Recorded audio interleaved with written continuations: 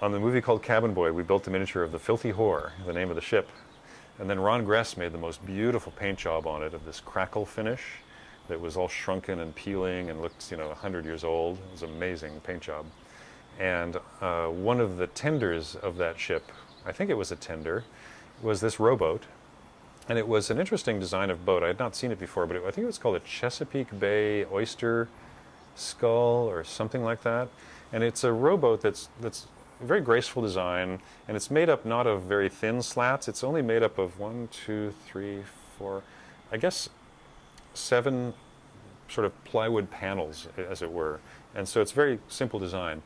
And I had to make a miniature of it about 24 inches long or 30 inches long. And they were going to put little doll figurines in there, and a giant was going to grab the thing and throw it down in the water. Really cheesy, intentionally cheesy. But they wanted a nice little boat.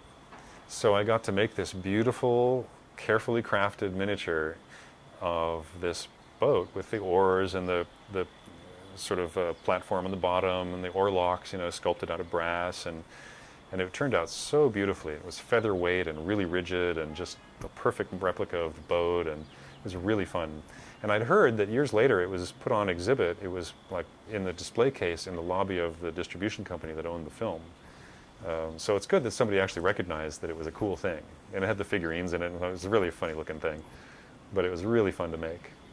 It, it does change from show to show. It varies from show to I mean, I've been on low budget films where they were very specific, even though they, you know, they had a champagne attitude and a beer pocketbook. Uh, they wanted grandiose, but had very little money. And sometimes we could do it.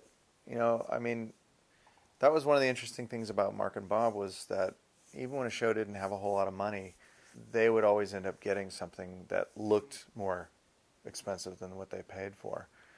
And and a part of that was just a pride, you know, uh, you know, we're not we're not just delivering a product to the client, we're representing our company. That was something that got ingrained in me very early on uh, from Mark. Well, Mark and Bob both. Very high sense, high work ethic. I mean, I got a high work ethic from my father, but those guys really drove it home for me. And um, you know, it was always about doing the best job and, and never letting budget was important, but never, never let that govern the quality of your work. It was more about how much can we do versus how well can we do it.